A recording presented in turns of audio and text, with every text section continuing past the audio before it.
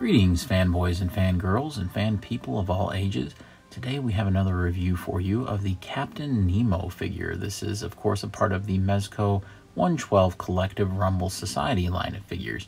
Now, usually these kinds of characters in this lineup are original creations by Mez, but this time we have one of their few figures that's an adaptation of something else. This is Captain Nemo, the classic character from 20,000 Leagues Under the Sea, but it's far more than just a figure. There's so much to go over here. I can't wait to look at every piece of this fascinating looking set, so let's go ahead and check it out.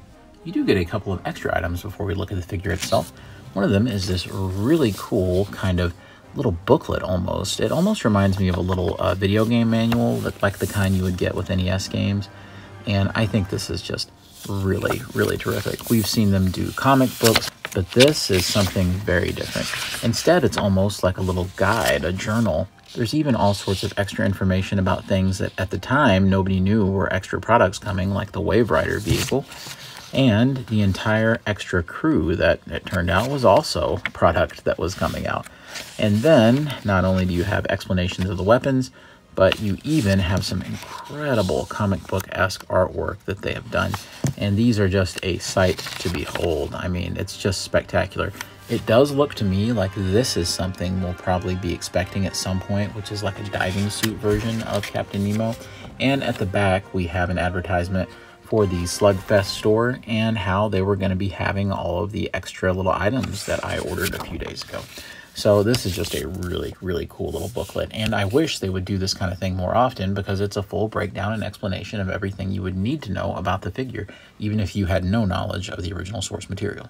We get a 20,000 Leagues Under the Sea Nautilus. It's almost like a little scale model of the ship, and especially the Mezco design of the ship. So we're just going to slice that open with our X-Acto and see what's inside. And you get this absolutely beautiful little scaled model bottom you get copyright information and apparently captain nemo got this right from china. He went to the orient um, and grabbed this but it's so detailed and i think it's great that they were so confident in their beautiful design for the nautilus here that they decided to immortalize it in plastic. Even though it's the kind of thing i don't think we could ever get like a full-sized version of for six inch scaled figures it's still great to have a little plastic representation of it. And if it wasn't for the title maybe it would almost be something cool that Captain Nemo would have on his desk on the ship. It's worth noting that I did not receive one of the little Mez-Itz figures this time with this order. Might have been an error, but I'm curious to hear from you down below if you received one. All right, let's look at this.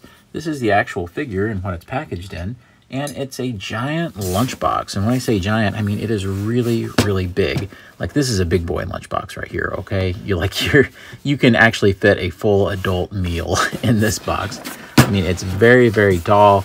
It's very wide. There's cool art of the Nautilus on the side, more fish on the other side, and this beautiful comic book artwork of Captain Nemo fighting a sea monster. Let's open it up, and we have the figure tucked away. And here's Mezco's famous little note saying, don't you dare play with this figure. Don't you dare. We also have plenty of great directions about what to do with the figure and how to apply different accessories and different costume stuff. Figure definitely looks great all packaged up, but let's get them on out.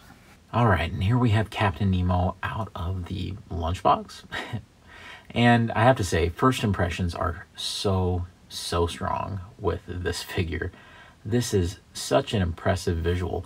Just to look at this guy, it's unbelievable the amount of detail that Mezco has packed in.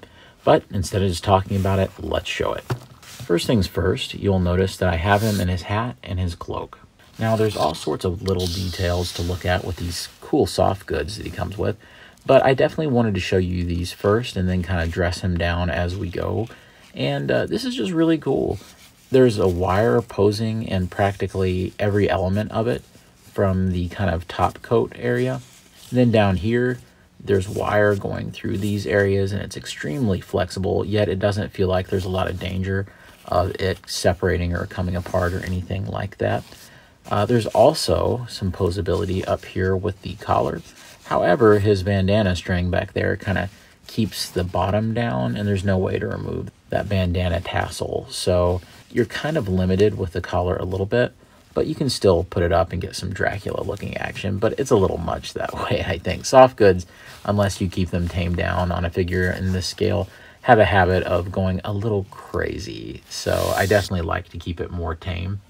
From the back, it looks really nice as well. You can definitely tell that this is just more of a standard kind of woven fabric. It's not any kind of like velvety material or it's not any kind of like uh, pleather like we've seen on some of the Batman capes. It looks really regal, I think, on him. The hat, I think, does a good job of not appearing overscaled because it's just flexible enough to come down over his head enough to where it's not crazy looking.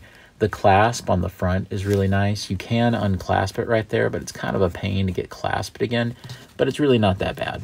Uh, the hat looks good except from the back where you start to see that if you really want to stretch it out, I guess you could put over, over the knot in the bandana tassel there, but it might look a little weird.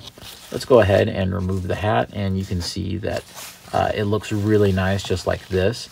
Honestly, I probably wouldn't use the hat much. I think the cloak is a lot stronger just in terms of the visual than the hat. And if you put the arms together, you can have him totally do the Batman thing and be completely wrapped up if you like, especially if you put some different uh, hand options on there. It helps quite a bit.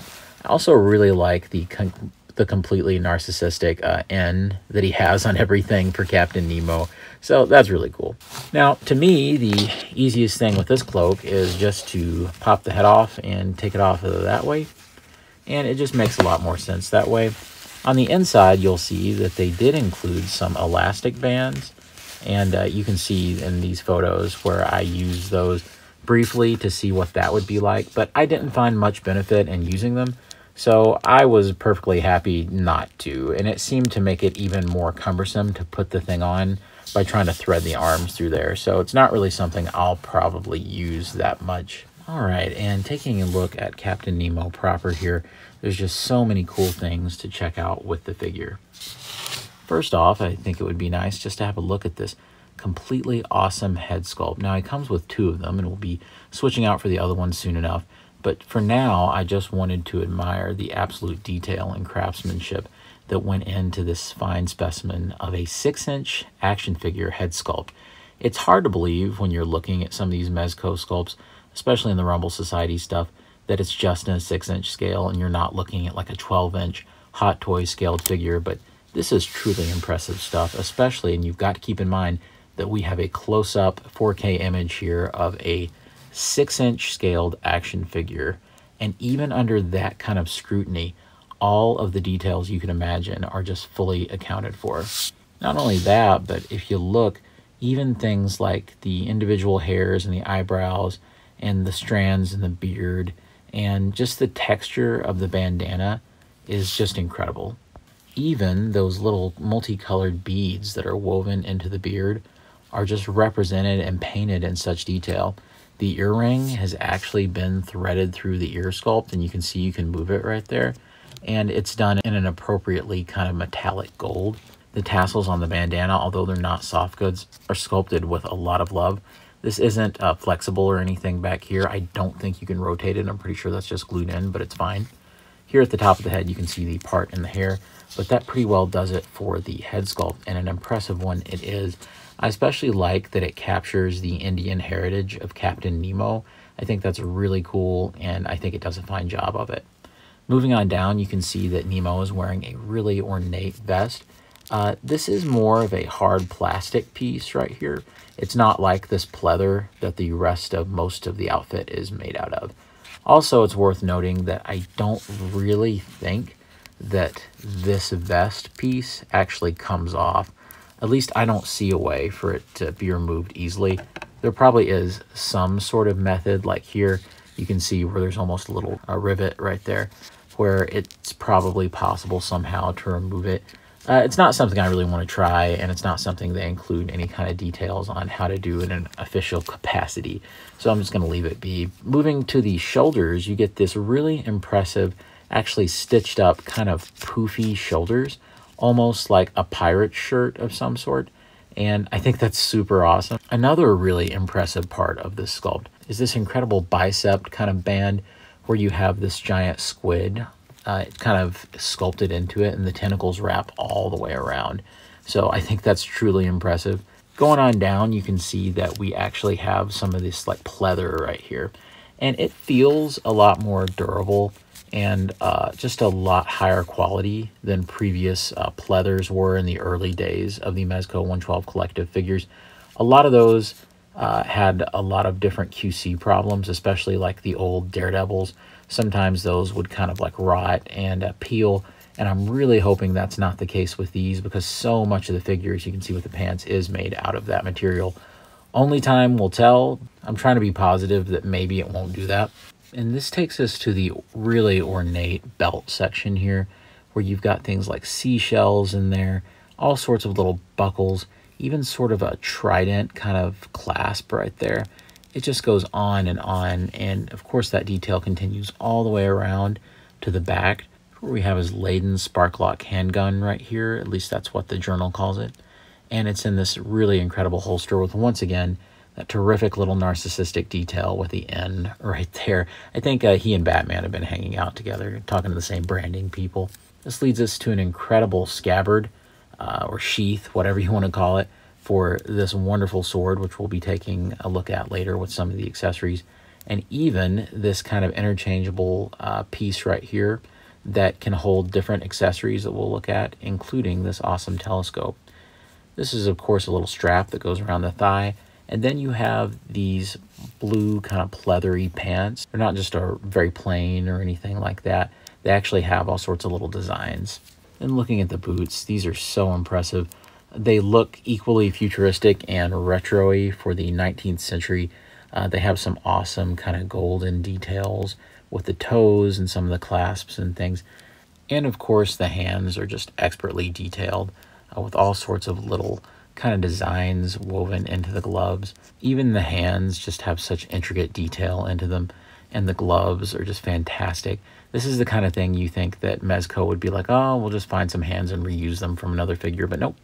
There's also this really cool bracelet piece to where if you want to get rid of it, you could. You can just take it out when you remove the hands, but it looks really cool on there, so I like it. And then there's this bad boy. We know that Captain Nemo lost his hand because, we'll get more into this in accessories.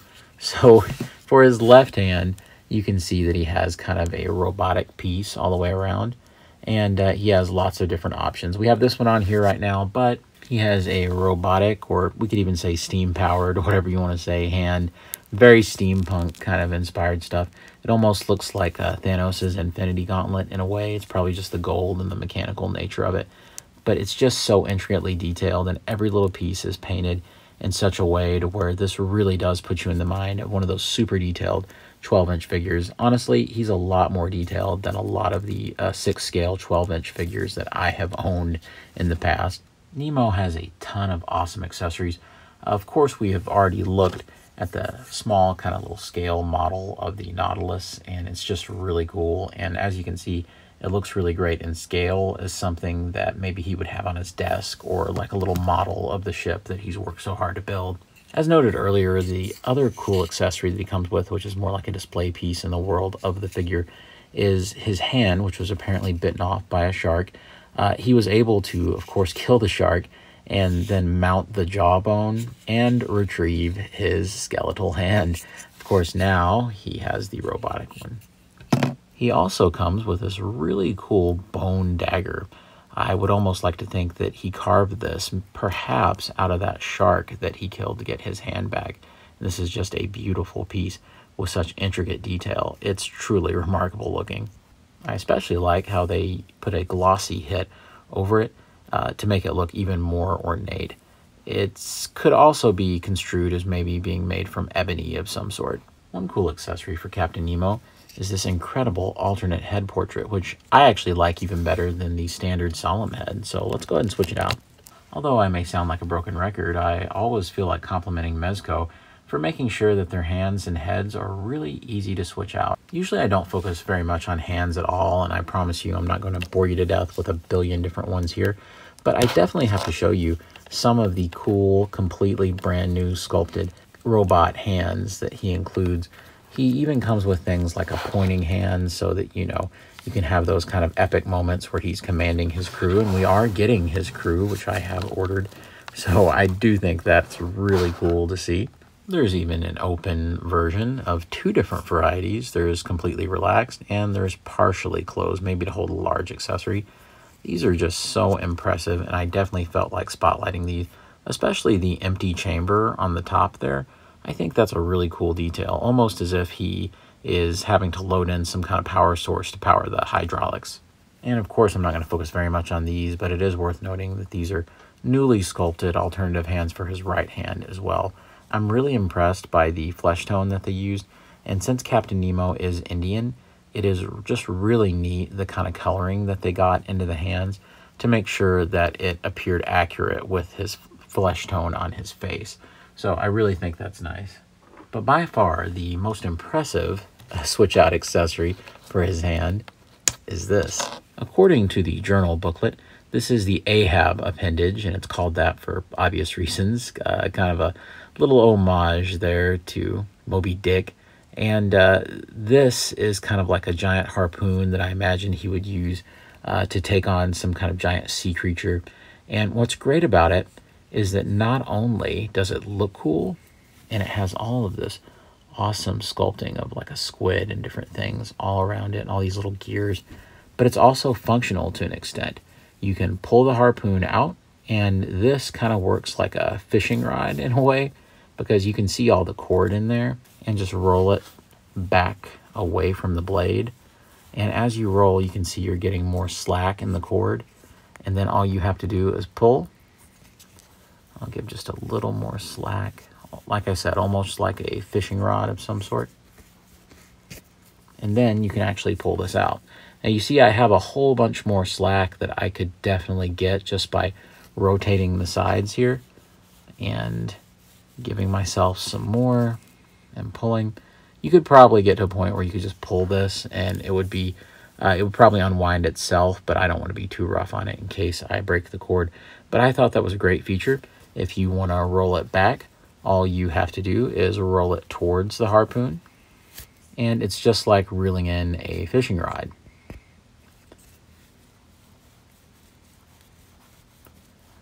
And now the cord is back taut again so I really think that's fantastic, and I'm very impressed by it.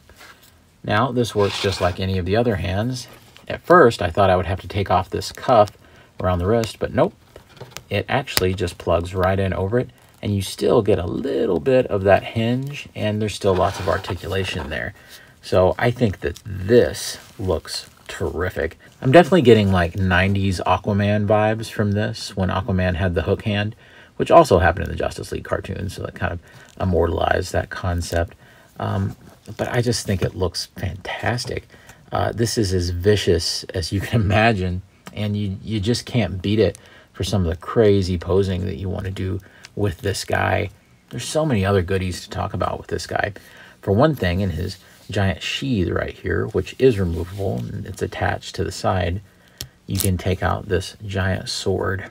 In the journal booklet, this is referred to as his cutlass. Uh, it says that this was made from rare metals that he found in the sunken city of Atlantis. So it has just a great mythology to it. And of course, we can switch out this hand to make sure we have a sword holding hand. And voila, Captain Nemo is now ready for the sword fight of his life. And I especially love this kind of dry brushed on rough gold finish, almost as if it's so old or it's made out of an ancient material that's still tough as all get out. And I especially just love how the red contrasts with his blue bodysuit, but also brings out the color of the bandana. Uh, this figure is just a work of art, especially in this smaller scale. It's amazing to see it all geared up like this. But we're not done. We even get a telescope. Now, it comes in its own holder down here, which is very easy to work with. And we'll get into some more about this little part down here in just a minute. But this is really nice. It has all sorts of little details carved into it. And not only that, with all of this cool detail, you can see that they have kind of a faux viewfinder right here. But you can even pull the thing out. Now, Mezco's no stranger to this.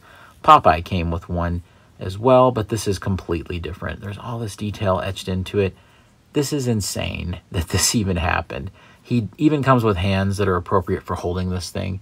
it just looks fantastic. And I love having it down here uh, in this hip holster that he's got because I think that it just looks great. It definitely reinforces the whole theming uh, about being, you know, a captain of the seas. But not only can you do this, you can actually remove this piece and you can take the pistol from the back and you can actually plug it into here. You can see that it has two holes right there to use. And I apparently had the gun turned around the wrong way. But here it is, and it looks fantastic as a sidearm right here.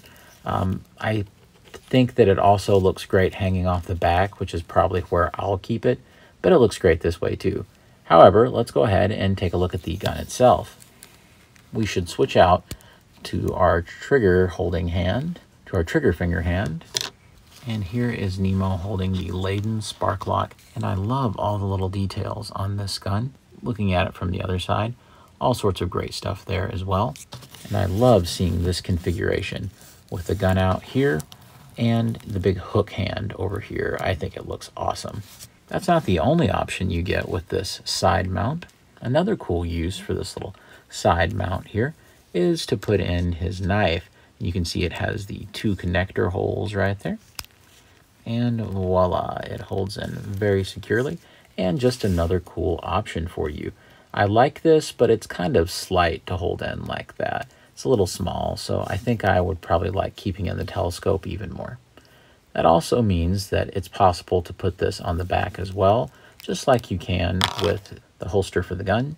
And all you have to do is take that peg and put it back there. And it looks much more appropriate back there than it does on the side, I think.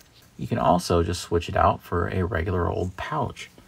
So that attaches just the same way, and this is his default configuration that he comes with, and it blends in seamlessly. As a matter of fact, when I first saw it, I had no idea this was removable, so it really does look nice that way as well. However, I'm definitely a big fan of having as many accessories stored on him at once as possible, so I'm probably going to keep his telescope on there as much as I possibly can. Another little cool accessory that he comes with is this neat little astrolabe here, so he can navigate his way through the seas. What's really impressive is it even has some little faux glass right there, just a little bit of transparent plastic. So I think that's mightily impressive, and it's great that he comes with an actual nautical navigation instrument from the time period. And of course, he comes with a display stand. It says 20,000 Leagues Under the Sea, Definitely reminds me of some of the old film adaptations and how the words looked on that. Uh, you can also see that you have this little foot peg that can be switched out for a flight cradle. And there ain't no 112 collective figure complete without this cool little bag. Of course, I love storing my accessories like this. I definitely don't like to put them all back in the box. It's very cumbersome. I think from day one with Captain Nemo, one of the biggest questions that we all had when it was first revealed was what's the articulation going to be like on this guy? Because we all noticed that there was so much of this pleather material everywhere, and sometimes that can really be a death knell to articulation. Well, let's go ahead and find out. So with the head, there's actually a pretty decent amount of range, particularly because you have all the long hair in the back and the big beard in the front. So I definitely think that it's still able to do quite a bit, and I think they were really careful to make sure that it stayed kind of elevated uh, from the neck because there's so much going on with the vest and everything, and they wanted to give it a little bit more flexibility. On this alternate head, the hair is kind of more flailed out, so it's not quite as limited one way, but because of the way it's sculpted, even though you can turn it really well this way, it kind of stops that far this way, but that's about as much of a head turn you would need anyway. Going out of the shoulders, you can see that it can go in about this much, and it can actually go out really decently. These big poofy sleeves here in the shoulders really do wonders for not inhibiting anything with this part of the arm. Uh, same thing for going forward. If you twist the fabric, I'm sure you can make it go a little bit higher even and keep twisting and keep working it up. So there's definitely not a lot of limits there. And like I said, just this extra room, not only does it look cool, but it kind of serves a little bit of a mechanical purpose as well. There's this big kind of band here over the bicep, but it doesn't limit things too badly, especially because I'm sure you could actually just remove this if you wanted to. You could just work it on down the arm. Uh, I don't want to remove it because I think it looks awesome. So that's about as far as it can go. You can get a solid 90 degrees there. at the elbow. I think it's a double elbow in there. Over here, you got the big straps going around the bottom part of his arm, and it kind of inhibits it also. So once again, that's about 90 degrees. There is a swivel in there, and the fabric doesn't limit it too much, so you can do all kinds of things with it. With all of the hands, there's a hinge in the wrist in there, and there's also uh, plenty of ability to turn it. Moving on down, you can get a swivel here at the waist, and it works really well. You can see they've left a little extra room in here to kind of allow it to kind of bend and flex. You can get a pretty good angle forward there with the back and a pretty good angle back. So I actually think that's pretty decent. You can even get a little bit of side to side as well. Moving on down, you can see that we do have a swivel at both of the thighs. This one is a little limited though because of this whole assembly. He can do a little bit of the splits, but I want you to see some. You don't want to put so much stress on these stitches here on the inseam that you're going to have him uh, do an unfortunate accident with his pants. So that's not what we're hoping for. Uh, as comfortable as I am is about this far. And honestly, I don't see Nemo as uh, doing like crazy gymnast splits all the time. So it's not really a problem. Um, I'm definitely going to look at the articulation a little differently on both of these legs because they're a little different with this whole assembly. Uh, I think all these belts are removable. I'm pretty sure you can just unclip it right here.